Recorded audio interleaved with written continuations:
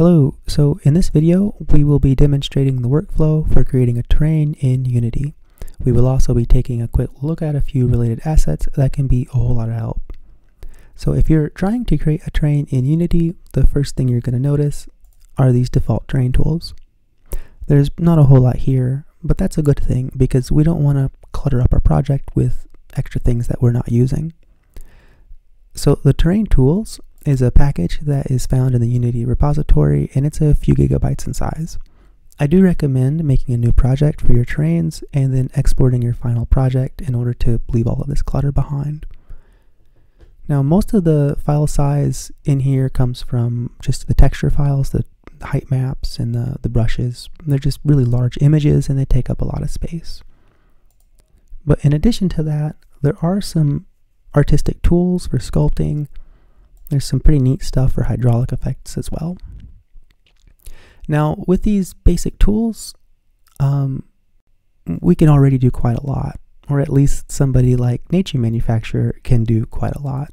Um, this is one of my favorite artists on the asset store. Everything he makes is just absolutely gorgeous. And in addition to that, you know, he does sell completed levels. So it's, it's a pretty cool thing to find. Um, another tool that's worth taking a quick look at is called Microverse. This is fairly new and it is a real-time non-destructive environment editor. Um, and if you want to know what that means, you really do need to just come check out this project. Project. Um, it's it's pretty mind-blowing what it's capable of. We will not be looking at this though. We're going to be looking at Gaia. Um, now I, I don't have the Pro Edition. I just have the normal edition. It goes on sale pretty often as well and I do recommend this. It's really, really powerful, and it does about everything I need. I'm actually not even sure what features I'm missing. Um, anyway, so moving on. Um, the actual foliage that I'm going to be using, I've kind of kit bashed from a few different places. I've, I've taken the grass out of Lordenfel here, and I'm also using the shader from Quibli. Um, Oh, and I'm also using the rocks as well from NatureManufacture. So I've got a little bit from everywhere. If you would like to see a different type of environment, um, Game Dev Bits here has some pretty good tutorials on Gaia. And he demonstrates um, a Synty spawner here, a Synty biome. And he also talks also on how to make these spawners. He has some pretty helpful hints mixed into his videos. Um, also up here in my tabs, I have Microsplat to tell you guys about. Um, if you're making a terrain, you probably want to be using this. It it does more than I can say. It, it supports more layers. It has lots of lots of different modules that you can add in as well. They aren't necessary, but if you want like footprints and sand or something, you know, he, he's got a module for that. And it's also, I guess, worth taking a quick look at um, other engines to see how they do things.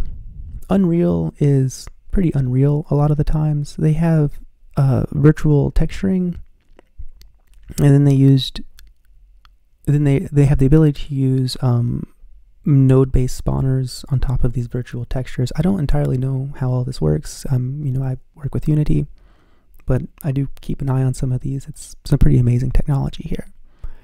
And lastly, uh, Godot unfortunately does not have any core engine support for terrain. That's something they're going to be leaving for um, third parties. And I have heard a rumor that uh, Gaia, the procedural worlds here, may be doing something to support Godot. Although that's completely unconfirmed, it's just a rumor that I've heard. But I, am excited for it. I really do hope that happens. So anyway, let's dive into um, the engine. All right, um, in this project, I already have Gaia imported and I have an empty scene here where we can start working in. In addition to this, I also have all of my art files imported down here. Um, now, in order to understand the types of files I have imported, it's good to quickly talk about how terrain data works. Um, from the perspective of terrain data, only three types of assets exist. Grass, details, and trees.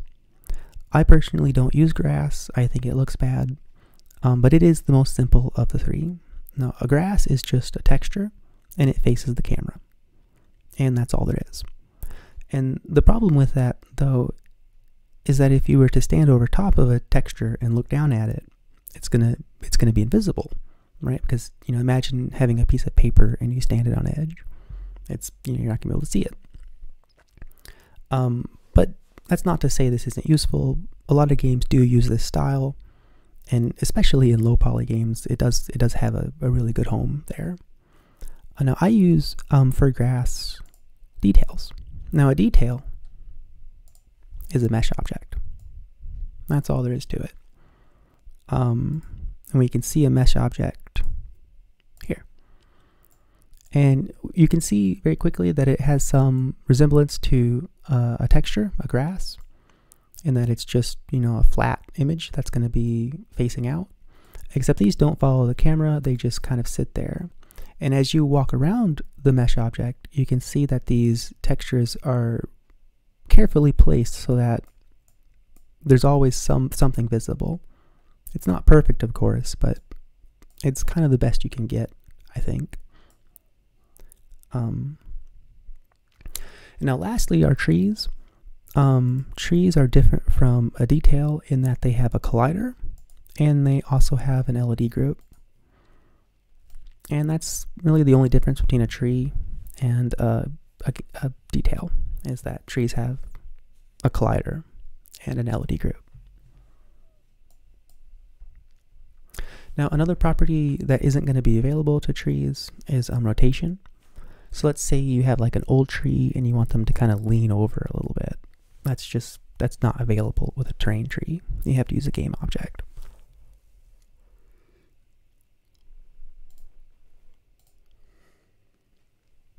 All right, so in order to create the world, we can bring open Gaia's little manager here. Um, in terms of world size, I do like to use custom. I think um, a little grid of 512 by 512s works really well. In terms of performance and memory size, you'll have to play around to see what you know you like, and also what your graphics card likes. Because if you if you make these too large, you you will run out of memory. Um, but yeah.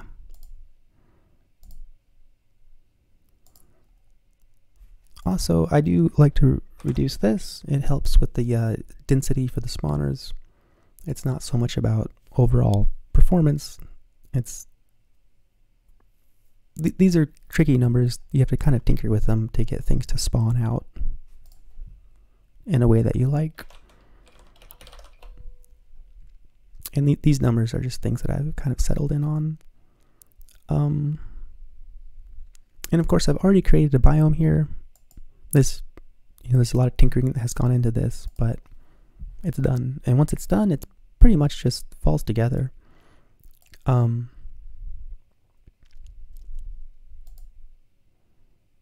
so, something to note about uh, terrain data is that it is, you know, it, it starts at zero. And so if you want to have underwater scenes, or if you want to dig underneath the ground, um, you don't want your sea level to be at zero because that's that's absolute zero. So I, I put my sea level a little bit above zero, which means we need to raise the base height as well. And that's it. Um, that's it. And so now we're going to have our terrain. Uh, Gaia includes a bunch of stamps for us.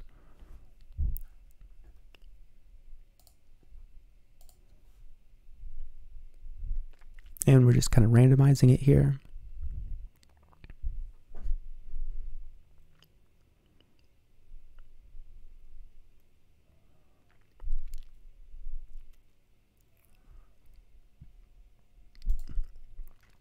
Now, one quick thing I will say about um, spawners, um, it wasn't obvious to me at first, so so I will mention it, and that is to think in terms of textures. Think in terms of your terrain layers. Um, the only texture, the only where in any of my spawners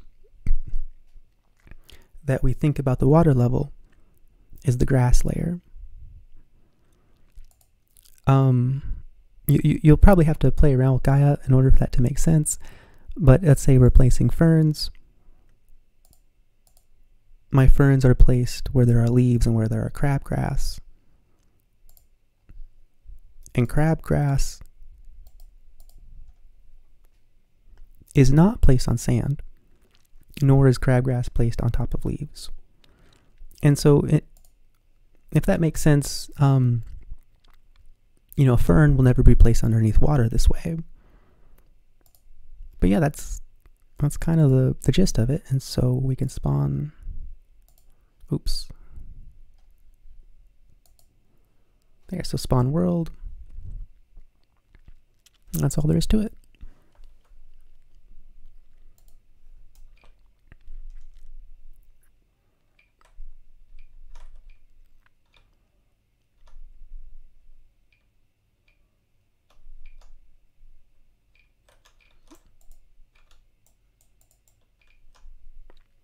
Um, the reason it's so shiny here is I only have normal maps. I don't have smoothness or ambient occlusion, roughness. I don't have all that extra stuff imported here.